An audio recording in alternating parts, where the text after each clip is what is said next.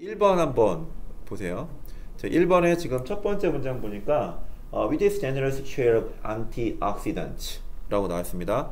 항산화제가 generous share니까 아, 이게 풍부한 어, 그런 그 것과 함께 T는 아, 이게 지금 소재가 차구나. has long been said 오랫동안 말하여지고 있다.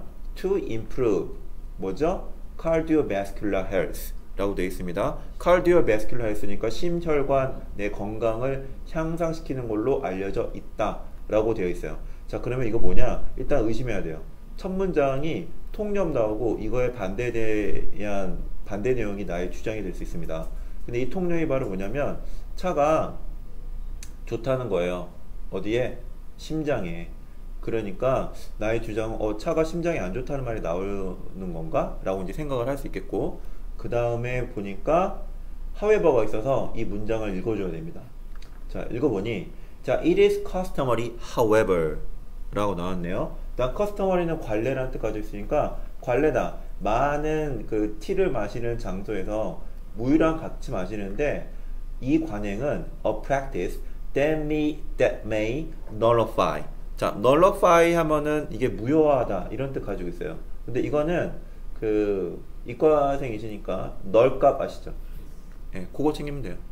예, 널값으로 집어넣으면 되니까 어 이거는 그 무효화 시킬지도 모른다. 뭐 t의 salutary properties. 자, salutary property 뭔지 모르겠어요. 근데 어떤 그 차가 가지고 있는 뭐 좋은 거겠죠. 그죠? 예. 이건 이제 굳이 말씀드리지만 이거는 beneficial 이런 뜻입니다. 유익한.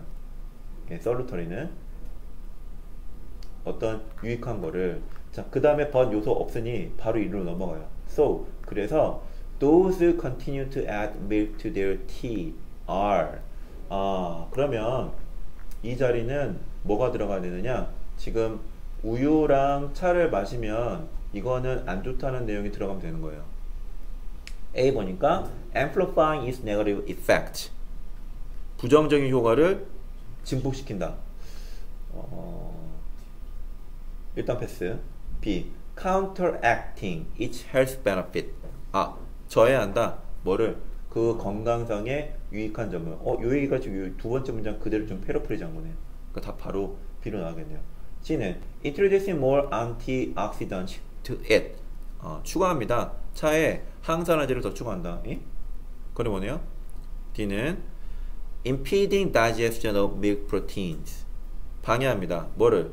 그 우유 단백질의 소화를 방해합니다. 역시 거리 뭐네요? 답은 B. 가능하죠? 오케이.